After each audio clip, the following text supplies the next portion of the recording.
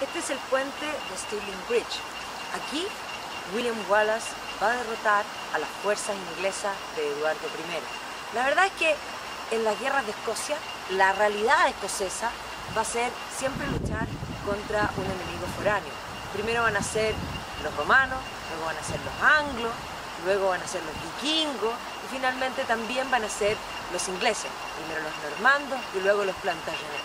Efectivamente Eduardo I va a querer comerse, absorber a Escocia.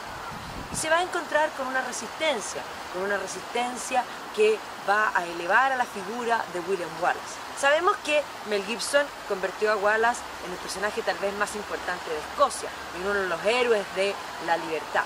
Pero si bien William Wallace tuvo una importancia, y aquí en esta batalla de Stirling Bridge, donde va a engañar a la fuerza y va a atrapar a los ingleses en un loop del río, por lo que va a ganar esta batalla, eh, a pesar de eso, él no es la figura más importante de lo que es la independencia de Escocia.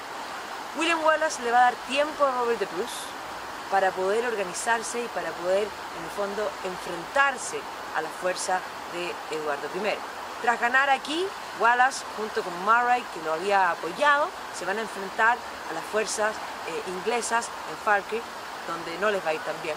Eh, y luego esto se van a convertir en una guerra como de montoneros por gran periodo.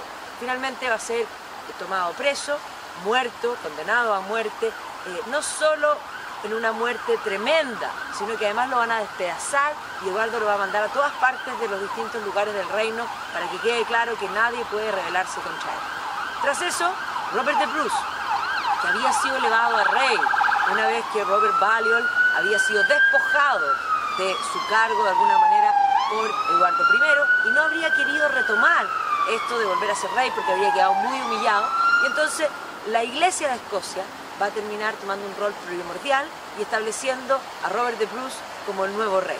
Si el pueblo se ha quedado sin rey, es el pueblo quien puede elegir un nuevo rey. efectivamente Robert de Bruce va a pelear por largo tiempo, va a perder a su hermano, su mujer va a ser hecha prisionera por Eduardo I, va a haber un largo periodo de sufrimiento y un momento en que estas fuerzas que quieren la independencia se van a replegar hacia las tierras altas.